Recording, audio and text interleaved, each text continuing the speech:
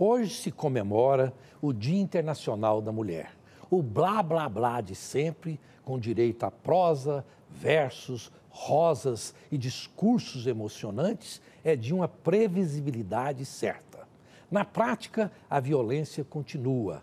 A falta de espaço apropriado, seja na política, no judiciário, nos cargos executivos de grandes companhias, estados e cidades, caminha a passos de tartaruga. A sociedade e o Estado machista é um osso duro de roer. Evidente que se faz necessário ter uma data para lembrar que as injustiças precisam ser corrigidas. Olho no olho, o que não se pode admitir é que a trégua de um dia por ano, se é que existe mesmo um apaziguamento, seja motivo para esquecer o que acontece de ruim nos outros 364 dias por ano.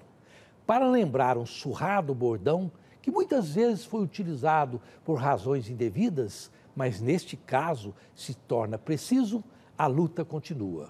Que o digam milhões de mulheres vítimas indefesas num país em que existem dois estupros por minuto.